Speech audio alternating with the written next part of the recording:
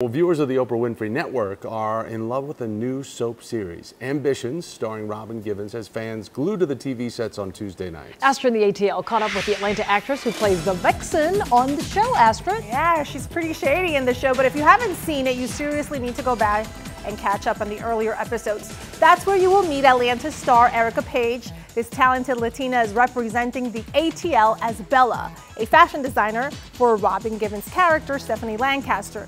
For Robin is in the way of Bella's desires. You are a brilliant attorney, Stephanie, but you've got a lot to learn. In June, the Oprah Winfrey Network premiered Ambitions, and the nation is hooked. Atlanta movie producer Will Packer brings you this soapy, spicy drama filmed in the ATL.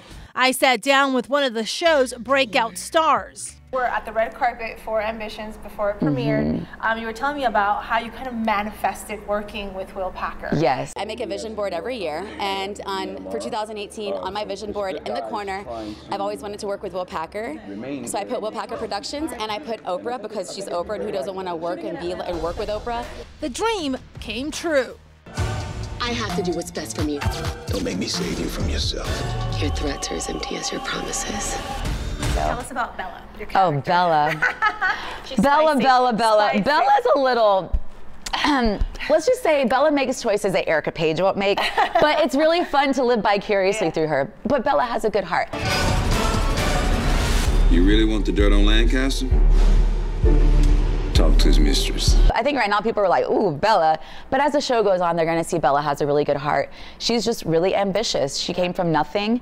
She is a fashion designer. She wants to make a name for herself. She did have an affair with the mayor. Um, by, by Brian J. by White, Dr- who by his Brian White. is married to Robin Givens. Yes. So that's your nemesis. Stop asking me to abandon my wife when you're still screwing that football has been. And the show, Bella is Ryan, uh, Stephanie Lancaster, Robin Givens. She's kind of her go-to seamstress, her designer. So it's it's shady. Evan loves me. You're just a shiny toy to him, Mija.